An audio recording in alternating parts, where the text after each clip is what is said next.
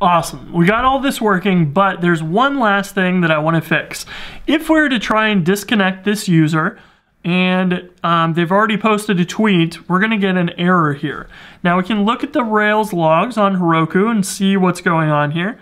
Basically, um, we get a, a Postgres foreign key violation. Update or delete on table Twitter accounts violates foreign key constraint on table tweets. So what that's saying is that the tweets table has an association to the Twitter accounts table, and you try to delete a Twitter account and not the associated tweets. You can't do that. Postgres is saying that is not allowed, and that's a good thing.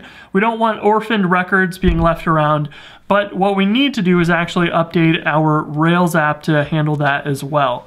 So let's go into our, um, our user model, or no, our Twitter account model.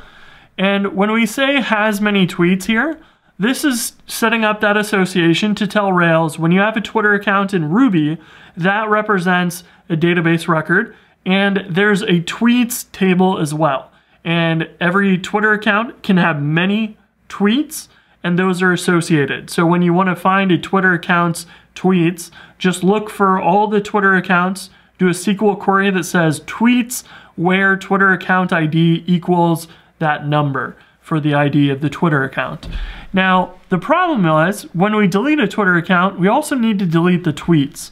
And Rails on the associations here has a dependent destroy option. So you can say anytime you delete a Twitter account, we'll also go and destroy all of those tweets.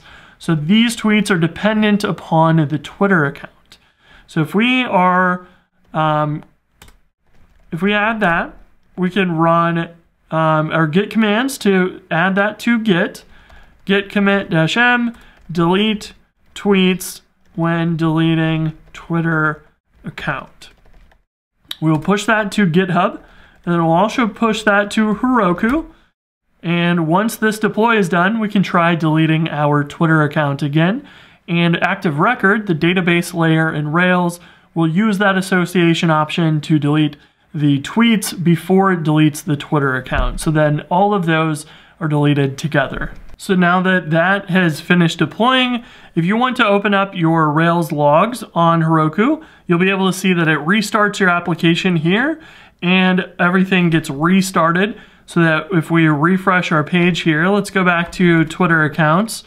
We can click disconnect we are sure, and that will succeed this time because we fixed that bug. Now, you won't be able to see the SQL queries in the production logs on Heroku, but if you do want to see how that dependent destroy works, take a look at your Rails logs in development mode and you'll be able to see that it does the delete of the tweets and then the delete of the Twitter account in your Rails logs. In production, you're having real users using your app and you might have hundreds of users all at once and that would make your logs very, very big to include everything.